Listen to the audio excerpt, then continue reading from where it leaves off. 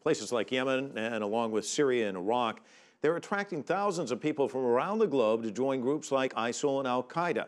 CCTV's Nathan King has more on a new United Nations report on the alarming number of foreign fighters.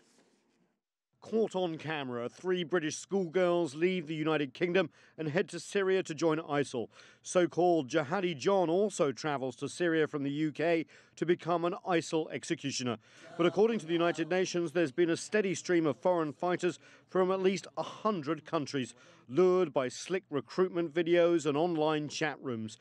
There are now 22,000 foreign fighters in Iraq and Syria, the UN reportedly says, 6,500 in Afghanistan, and hundreds more in Yemen, Libya, Pakistan, and Somalia. According to the news agency Reuters, the number of foreign fighters has jumped 70% in the last year. The report stems from a 2014 United Nations Security Council session headed by US President Barack Obama and other world leaders.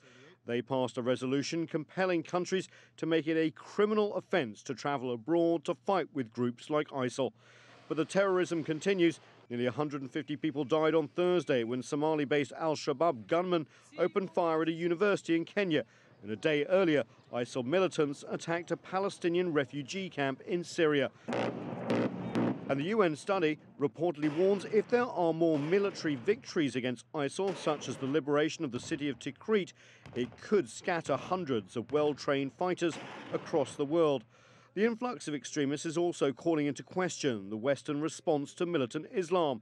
Just a few months ago, US President Barack Obama highlighted Yemen and Somalia as success stories in the fight against terrorism. But some former government officials say an over reliance on drone strikes and targeted killings may not be enough.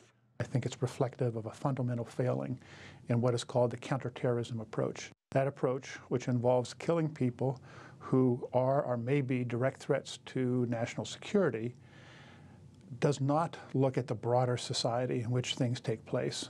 The United States and other countries are trying to counter groups like ISIL and stop radical recruitment in their own countries.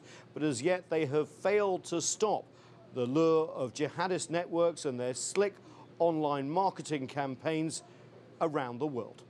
Nathan King, CCTV, Washington.